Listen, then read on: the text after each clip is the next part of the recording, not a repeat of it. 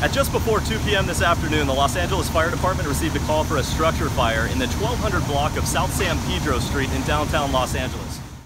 First arriving firefighters found heavy smoke and fire coming from a single story commercial building approximately 100 feet by 150 feet in size. They made an initial, aggressive interior fire attack, but within about 10 minutes, they had to back out and go to defensive operations. This was due to the heavy fire conditions and heavy fire load inside the building. Firefighters were able to defend multiple structures on the premises, and fortunately, there were no injuries to firefighters or civilians. At its peak, we had over 120 firefighters from the LAFD assigned to this incident, making it a major emergency for the Los Angeles Fire Department.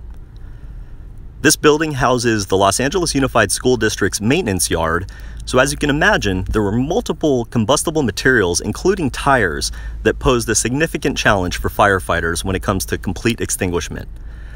Firefighters will remain on scene for several hours to make sure all of the hotspots are extinguished, and we will be blocking traffic and blocking lanes in the downtown Los Angeles area near the intersection of Pico and San Pedro Street.